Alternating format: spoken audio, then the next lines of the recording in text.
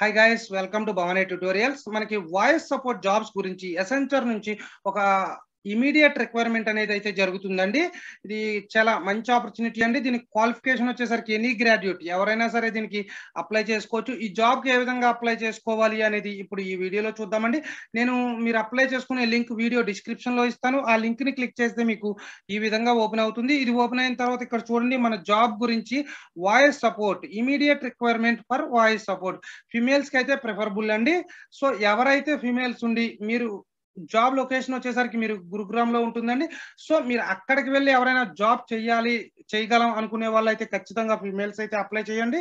ఎందుకంటే maximum job వచ్చే chances అయితే ఉంటుంది. స్కిల్స్ ఉంటే మీకు మంచి కమ్యూనికేషన్ స్కిల్స్ అనేది ఉంటే మీకు ఖచ్చితంగా జాబ్ వచ్చే ఛాన్స్ ఉంటుంది. అలాగే వాడు అడిగిన ఎక్స్పీరియన్స్ వచ్చేసరికి వన్ ఇయర్ అబౌవ్ ఎక్స్పీరియన్స్ అనేది అడుగుతున్నాడు. ఇన్ కేస్ మీకు ఎనీ ఎక్స్పీరియన్స్ ఏమీ లేకపోయినా ఫ్రెషర్స్ అయినా సరే అప్లై చేయండి.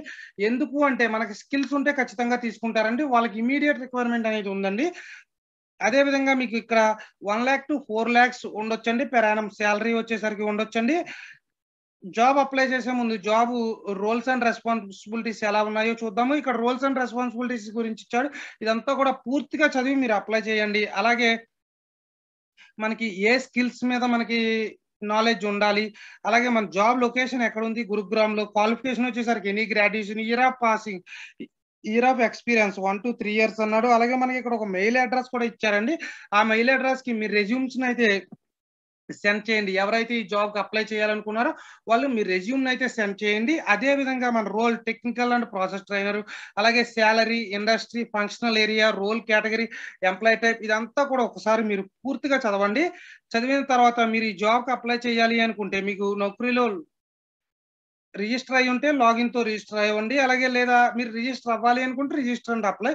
In case apply without registration కూడా మీరు అప్లై చేసుకోవచ్చు. అలాగే ఇక్కడ మీరు అప్లై చేసుకునే కూడా చాలా ఈజీగా ఉంది. ఈజీవీలో ఉంది. Name current email ID current mobile number current location total experience మీ రెజ్యూమ్. ఇవి మీరు అప్లోడ్ చేస్తే సరిపోతుంది. అదేవిధంగా మీరు ఇక్కడ రెజ్యూమ్ అప్లోడ్ చేసినా కానీ వాళ్ళు ఇచ్చిన మెయిల్ ఐడిలో మెయిల్ ఐడికి కూడా మీ రెజ్యూమ్ అయితే ఇక్కడ వీళ్ళు ఇచ్చిన మెయిల్ ఐడి కూడా మీ రెజ్యూమ్ అయితే మీరు ఖచ్చితంగా సెండ్ చేయండి. అప్పుడు మీ రెజ్యూమ్ ఈ జాబ్కి అయితే సరిపోతుంది మ్యాచ్ అవుతుంది అనుకున్నప్పుడు వాళ్ళే మిమ్మల్ని కాంటాక్ట్ అవుతారండి. ఓకే గైస్ ఇదండి ఈ జాబ్ గురించి total information. Okay all the best guys. Thank you very much.